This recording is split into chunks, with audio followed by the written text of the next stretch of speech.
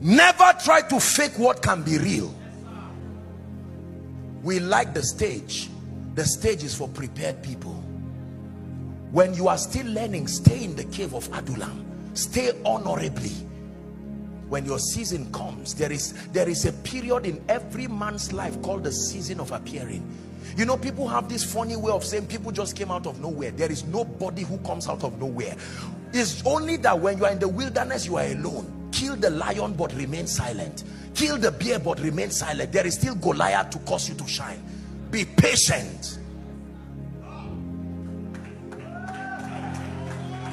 Let me encourage and I say this respectfully and with a heart of love. Let me encourage men of God business people music ministers be patient. Premature exposure is a way of keeping yourself at the backside forever. There are many things that are not delays it is God's chance of letting you to be prepared before your destiny helpers see you. When God wants to lift you he will walk on you then put all your destiny helpers in front of you and says now David go.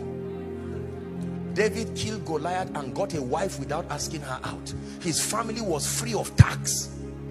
Look at all those advantages. Never fight battles until you know the reward that is there. Stay in the wilderness let God put a reward.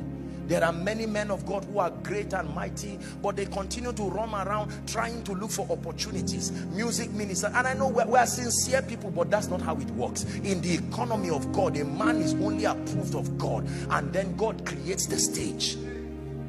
Leave the intelligence of God to the invention of how you will come to light. Someone after this conference needs to go back home. Go to a bookstore the money you want to use to buy clothes with it change your mind. Go and buy certain materials.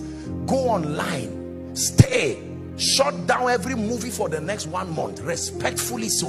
And tell yourself i'm tired of embarrassment. I'm tired of being like mordecai. I keep standing close to the gate but never enter. And john remained in the wilderness until his season of appearing is God speaking to us?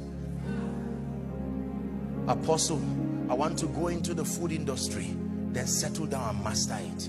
If you are the only one who is eating your food, you are not going anywhere. Let me assure you, you cannot pay yourself. You are violating the law of exchange.